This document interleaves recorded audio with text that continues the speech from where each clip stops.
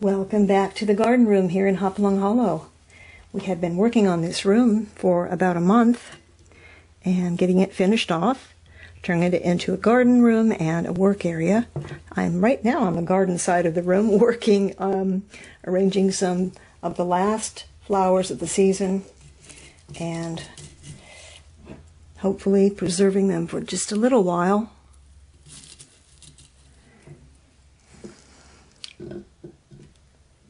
We've got Cosmos.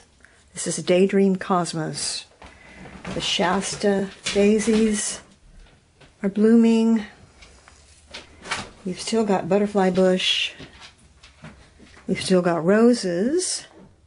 We have got some dahlias. I think I'm going to put the dahlias over here. Don't like to take too many dahlias out of the garden, but certainly have to show a few of them in the house. So before I take you, so before I show you the other side of this working room, I'm going to show you the last corner that we had to restore in this room and what we did with it. So in this room, in this particular room, we only had one more corner to finish, and that required that the walls be completely replaced, and they were. But little did we know that not only that, but the floor over here had to be replaced because the joists were rotten underneath. So then we had to remove that piece of flooring and completely redo the bottom underneath the joists. This flooring is just plywood. It's just thick plywood, um, one inch plywood, because we don't need any fancy flooring in here. It's a garden room. The dogs come in and out. It goes right out into the courtyard and it gets pretty dirty in here. But one thing I did do last year is I had come in and stenciled the entire floor. So now I have to go back and do the same thing over here. I'll just stencil this part, put some polyurethane on it, and it's uh-huh. good to go.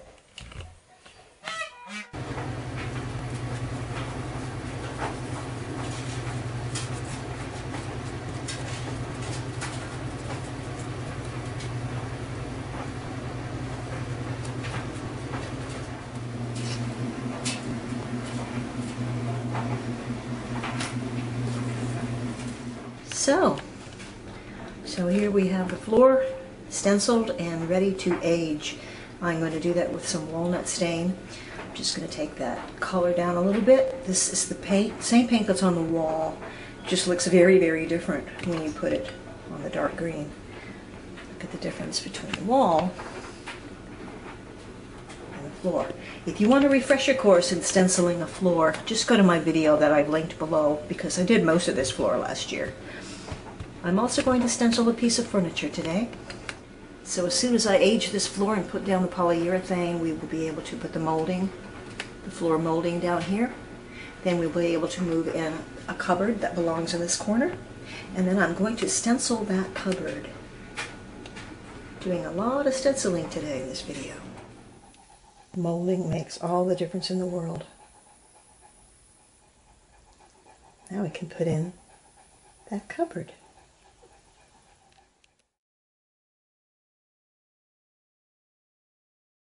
うん。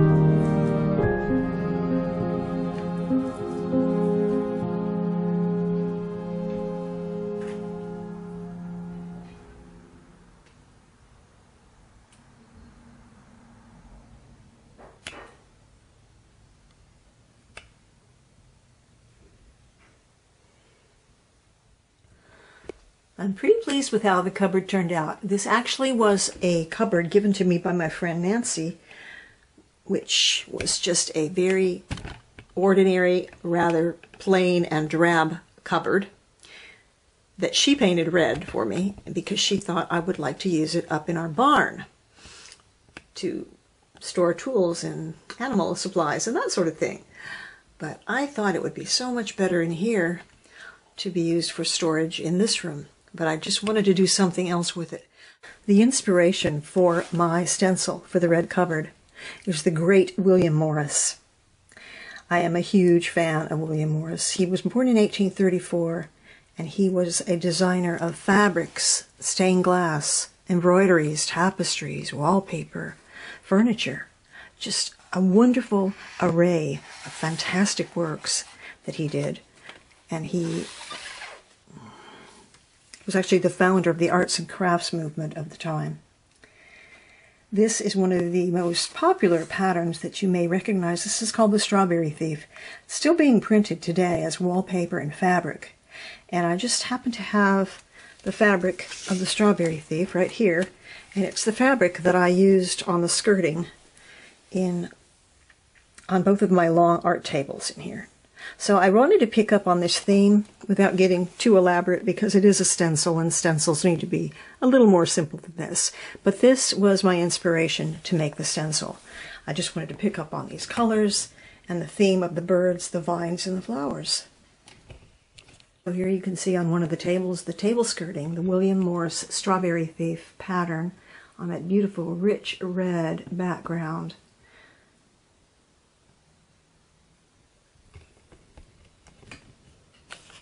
So by simplifying the design in the stencil, I was able to pick up some of those same colors, the same motifs, and I think it turned out really, really well for this room. Could pass as a Pennsylvania Dutch design, Pennsylvania German folk art design. It also looks a little bit Scandinavian, but actually the inspiration for it was William Morris. So I think it looks great in this room, looks great in this corner, and let me show you what it stores. Since this garden room is a multi-purpose room for all sorts of reasons, one of the things that I love about this cupboard is it has so much storage in it.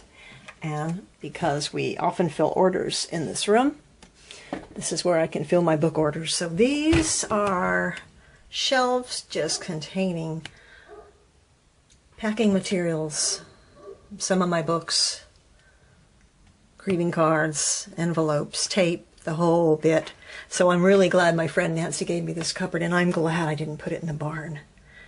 It's perfect for this room. It's perfect for this corner. From the vantage point of this red cupboard here in the corner, you can get an idea of the simple layout of the room. It's just a rectangular room. It's not even that, that large but there's so much light in here. It's just wonderful. And so along this window, I'm able to do the gardening things. And then along that window in the back is so beautiful for the light coming through, the natural light coming through that window. And that's great for painting and drawing.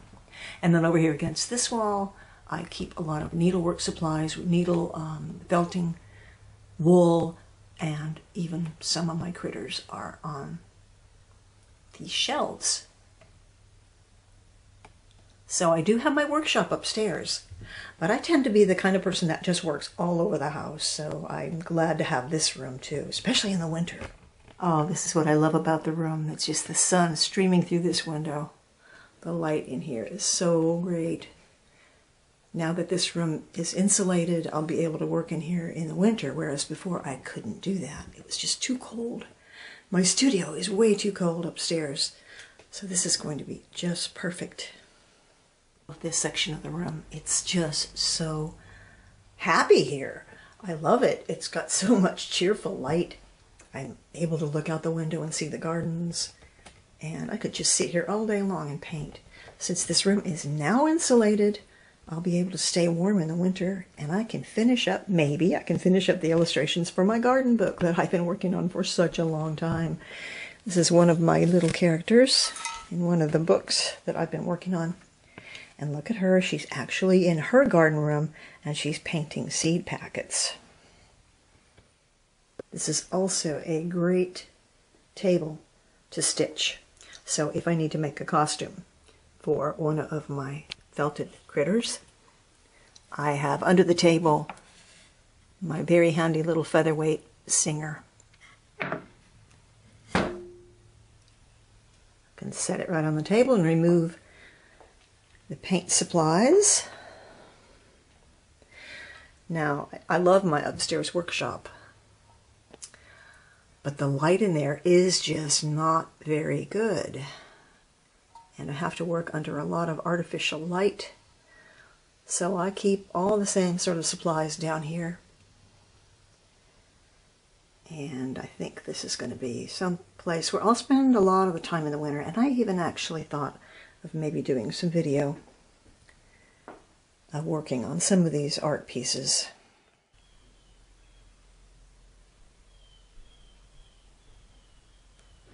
You have to think outside the box when displaying a piece or using a piece of furniture if it doesn't quite fit, such as this trunk here, which actually is not supposed to be sitting like this, but it would not fit horizontally without crowding the room. And so in order to put it to use, I set it on its side like this. I can still open the door. There are supplies inside of it. And then I'm still able to use the top to store my dyed wool. all over the room. If I want a needle felt in the other room, I just can come in here. It's right outside that door and grab a handful of wool and work on the couch or I can sit down on this comfortable little love seat that was in the shop.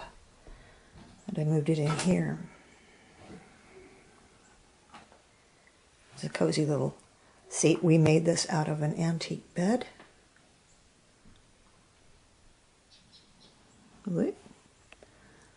I see we have a visitor, a little daddy longlegs. Here's the light fixture that I want to have in the center of the room. It just hasn't been put up yet. So I'm going to use this shelf, this particular shelf, as a display area for some of my items that are for sale. We often have people that come over to purchase things, and since my little shop across the way is so tiny, there's a lot more room in here. I think this would be a great place to use as sort of a something of a little showroom. So this corner is dedicated to the critters. I love this little green cupboard here. And we used to take this to shows as part of our display, but it's a little awkward to carry around in bins and so on and so forth. So I decided to leave it in here as a display piece in this room. And it should be filled with mice, but we're down to only three mice. Once I get my mouse population back up, I can even put them inside the cupboards, peeking out. So that's something we'll be doing this winter, getting, getting my inventory back up. So this is the door that leads directly to the keeping room and the kitchen. And rounding the corner again, and this is the old Sellers cabinet that I have had in so many places. I've had it on the porch, in the barn, in the potting shed. I've had it everywhere. It's been served many purposes. This cabinet is that it stores things that you would rather have hidden from sight, such as small tools. And here we have another supply of garden books. Oops. Oh, this little gourd lady I bought her in 1992, and the artist was Karen Spencer. Karen Spencer, wherever you are, I still have this little garden gourd lady, and I still love her. Last of my paper gardens. I haven't made these in a long time. I might make some over the winter. I have so many plans for winter videos because when you can't be out in the garden, you have to think of something else to film. This enamel top on the Sellers, the enamel top on the Sellers cabinet is so great for processing fruit and so on. As you might remember when I made the apple pie, this is where I peeled my apples. I've got two great, great apple peelers here. I've got about 500 pears I've still got to peel and freeze, so one of you lovely people sent me this wonderful soap, but it looks so pretty in the packages, Lisa, that I just don't want to open it up. At least not yet. Yeah, it smells great. Looks really good next to these dried flowers, too. So why am I walking around the room showing you all these bits and pieces and bits and bobs? Because they're useful items that are actually working items but they're put to use as display as well. So on this funky old cupboard, everything is either pleasing to the eye, that is showing, or useful as a tool. So there isn't much left to do in this room. Um, we still have to put up the light. And then there's one more really horrible eyesore that I'm going to show you right now. And that's the door. And it's really bad. This is the door leading to the garden room, right off the courtyard and next to the cold frame. And it doesn't look like it's too bad of a door. It's just missing a pane of glass. But if you travel down the door, you'll see that it's quite ugly. Uh, that's because we had to make a really quick doggy door when we got our Great Pyrenees, and we never changed it out. And that's because this was just a mudroom back then. It really wasn't that important for it to be a beautiful door. But now that we've turned this into a garden room, my husband is moving the doggy door. He's going to put a nice doggy door in another part of the house, and we're going to switch out this door with one of the seven door antique doors up in the barn. And I think we do have a French door up there in its entirety. So I think it'll still be a French door. It just won't be this one. Thank goodness. Going to end the day with a soup that matches the little red cupboard. Roasted red pepper soup.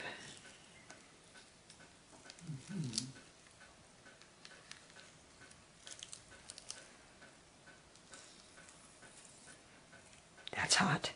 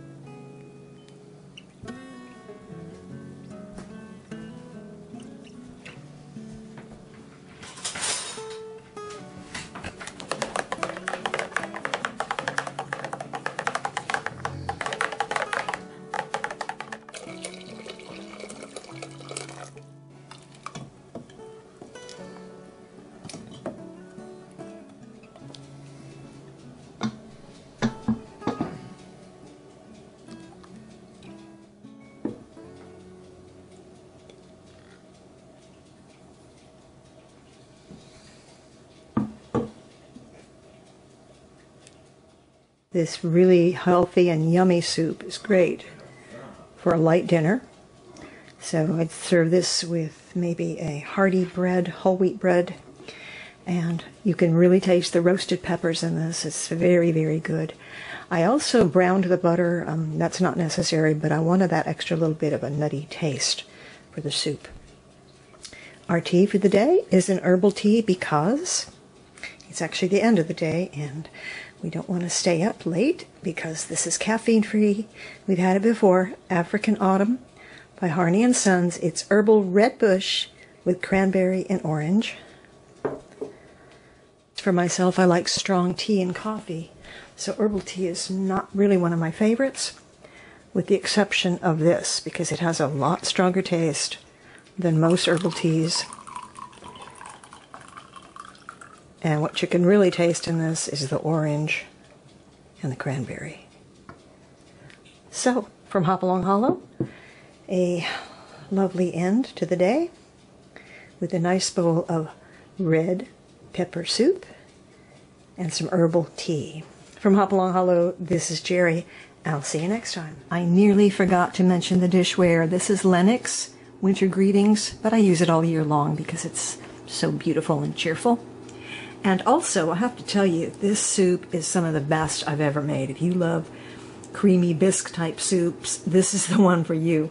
And you know what? It's very rich, and you can really taste that browned butter in here and that roasted pepper. It's very rich tasting. It is absolutely delicious. If you don't try any of my other soups, try this one. Okay, I'll see you next time.